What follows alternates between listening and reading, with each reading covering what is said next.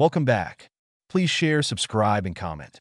Acousto-optics is a branch of physics that studies the interactions between sound waves and light waves, especially the diffraction of laser light by ultrasound, or sound in general, through an ultrasonic grating. Introduction in general, acousto-optic effects are based on the change of the refractive index of a medium due to the presence of sound waves in that medium. Sound waves produce a refractive index grating in the material, and it is this grating that is seen by the light wave. These variations in the refractive index, due to the pressure fluctuations, may be detected optically by refraction, diffraction, and interference effects. Reflection may also be used. The acousto-optic effect is extensively used in the measurement and study of ultrasonic waves. However, the growing principal area of interest is in acousto-optical devices for the deflection, modulation, signal processing, and frequency shifting of light beams. This is due to the increasing availability and performance of lasers, which have made the acousto-optic effect easier to observe and measure. Technical progress in both crystal growth and high frequency. Piezoelectric transducers has brought valuable benefits to acousto-optic components improvements. Along with the current applications, acousto-optics presents interesting possible application. It can be used in non-destructive testing, structural health monitoring, and biomedical applications where optically generated and optical measurements of ultrasound gives a non-contact method of imaging. History optics has had a very long and full history from ancient Greece through the Renaissance and modern times. As with optics, acoustics has a history of similar duration, again starting with the ancient Greeks. In contrast, the acousto-optic effect has had a relatively short history, beginning with Brillouin predicting the diffraction of light by an acoustic wave being propagated in a medium of interaction in 1922. This was then confirmed with experimentation in 1932 by Debye and Sears, and also by Lucas and Biquard. The particular case of diffraction on the first order, under a certain angle of incidence, also predicted by Brillouin, has been observed by Rytow in 1935. Raman and Nath, 1937, have designed a general ideal model of interaction taking into account several orders. This model was developed by Phariseau, 1956, for diffraction including only one diffraction order. Acousto-optic effect The acousto-optic effect is a specific case of photoelasticity, where there is a change of a material's permittivity, epsilon, due to a mechanical strain A. Photoelasticity is the variation of the optical indicatrix coefficients BI caused by the strain AJ given by 1 delta BI equals PIJAJ, where PIJ is the photoelastic tensor with components I, J equals 1, 2, 6. Specifically in the acousto-optic effect, the strains AJ are a result of the acoustic wave which has been excited within a transparent medium. This then gives rise to the variation of the refractive index. For a plane acoustic wave propagating along the z-axis, the change in the refractive index can be expressed as 2 n z t equals n0 plus delta n cos omega t minus kz, where n0 is the undisturbed refractive index, omega is the angular frequency, k is the wave number of the acoustic wave, and delta n is the amplitude of variation in the refractive index generated by the acoustic wave, and is given as 3 delta n equals minus 1 2 sigma j and 0 3 pzjaj, the generated refractive index. 2 gives a diffraction grating moving with the velocity given by the speed of the sound wave in the medium.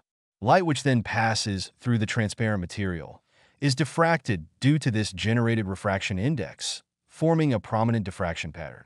This diffraction pattern corresponds with a conventional diffraction grating at angles theta n from the original direction, and is given by 4 lambda sin theta m equals m lambda, where lambda is the wavelength of the optical wave, lambda is the wavelength of the acoustic wave, and m is the integer order maximum.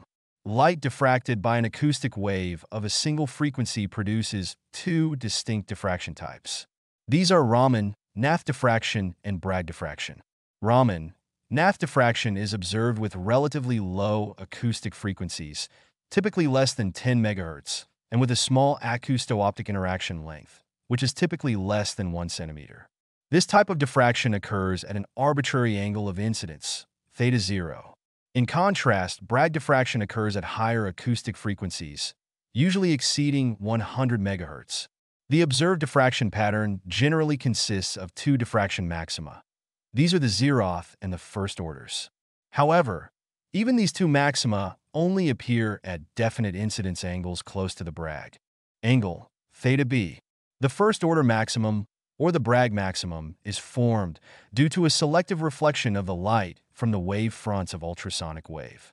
The Bragg angle is given by the expression 5 sin theta b equals minus lambda f2 in I nu, 1 plus nu 2 lambda 2 f2, ni2 minus nd2, where lambda is the wavelength of the incident light wave in a vacuum, f is the acoustic frequency, v is the velocity of the acoustic wave, ni is the refractive index for the incident optical wave, and nd is the refractive index for the diffracted optical waves.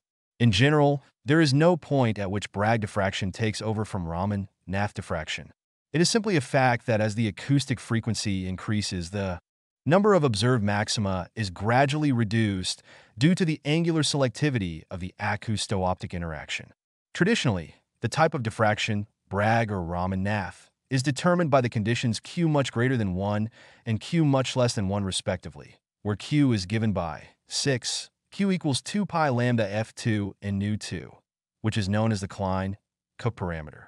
Since in general, only the first-order diffraction maximum is used in acousto-optic devices, Bragg diffraction is preferable due to the lower optical losses.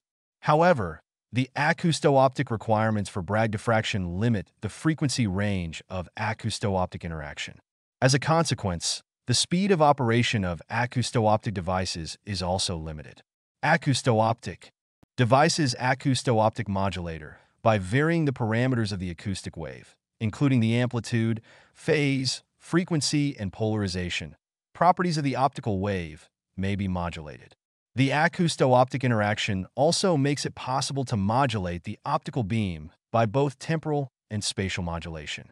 A simple method of modulating the optical beam traveling through the acousto-optic device is done by switching the acoustic field on and off. When off, the light beam is undiverted, the intensity of light directed at the Bragg diffraction angle is zero. When switched on and Bragg diffraction occurs, the intensity at the Bragg angle increases. So the acousto-optic device is modulating the output along the Bragg diffraction angle, switching it on and off. The device is operated as a modulator by keeping the acoustic wavelength, frequency, fixed and varying the drive power to vary the amount of light in the deflected beam. There are several limitations associated with the design and performance of acousto-optic modulators.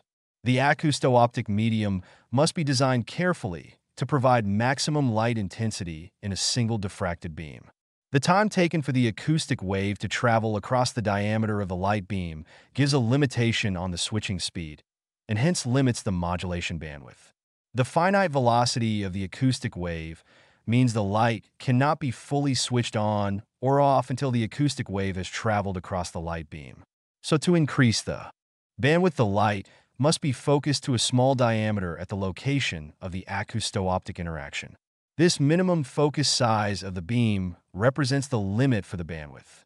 Acousto-optic tunable filter the principle behind the operation of acousto-optic tunable filters is based on the wavelength of the diffracted light being dependent on the acoustic frequency.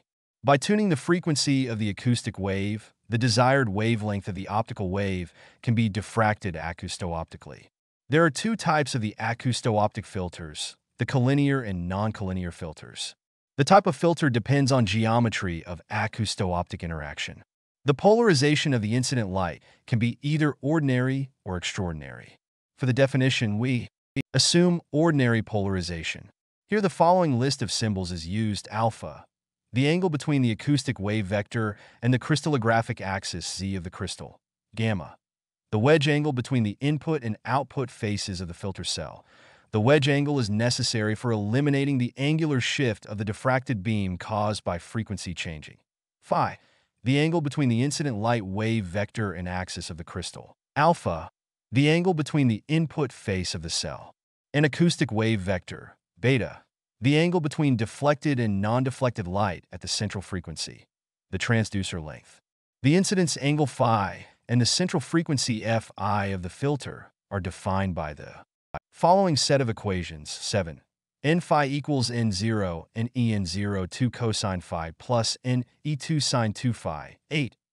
fi phi equals nu lambda n phi cosine phi plus alpha plus or minus n0 2 minus n phi 2 phi sine 2 phi plus alpha.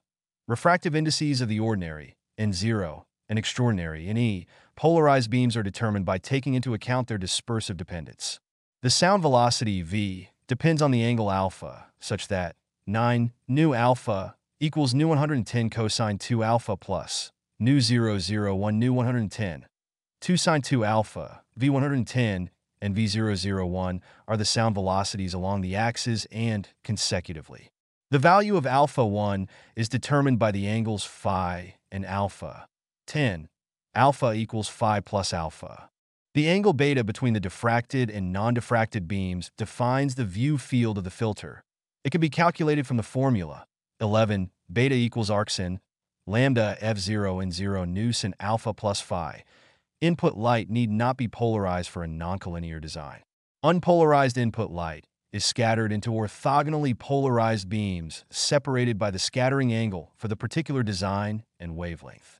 If the optical design provides an appropriate beam block for the unscattered light, then two beams, images, are formed in an optical passband that is nearly equivalent in both orthogonally linearly polarized output beams, differing by the Stokes and anti-Stokes scattering parameter.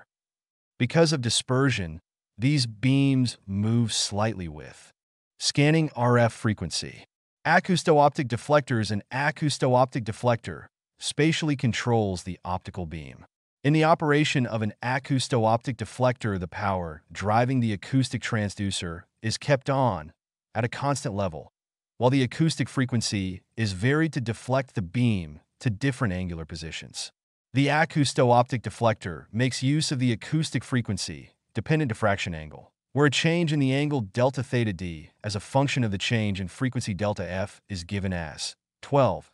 Delta theta d equals lambda nu delta f, where lambda is the optical wavelength of the beam and nu is the velocity of the acoustic wave. AOD technology has made practical the Bose Einstein condensation, for which the 2001 Nobel Prize in physics was awarded to Eric A. Cornell, Wolfgang Ketterle, and Carl E. Wieman. Another application of acoustic optical deflection is optical trapping of small molecules. AODs are essentially the same as acousto-optic modulators, AOMs. In an AOM, only the amplitude of the sound wave is modulated to modulate the intensity of the diffracted laser beam, whereas in an AOD, both the amplitude and frequency are adjusted, making the engineering requirements tighter for an AOD than an AOM.